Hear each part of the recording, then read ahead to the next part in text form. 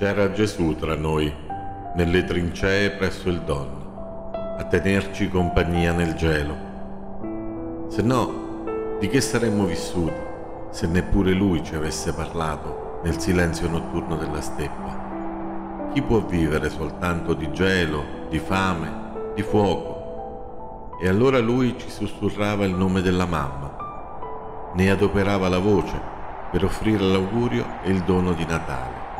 Ritorna, figliolo, noi ti aspettiamo.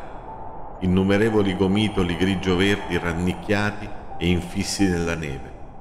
Eravamo un'unica linea presso il Don, ma pochi per la bianca vastità di Vanovka Kaluba Krinica, Nova Kalitva, molti soltanto a Seliniyar, al piccolo cimitero nato dal sangue degli alpini dell'Aquila.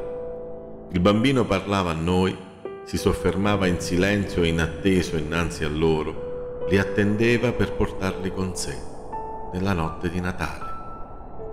Noi superstiti restavamo sgomenti.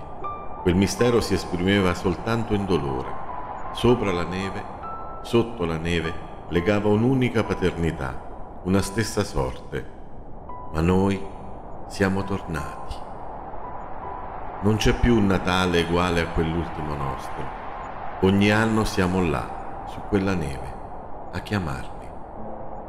Fratelli nostri, noi vi ricordiamo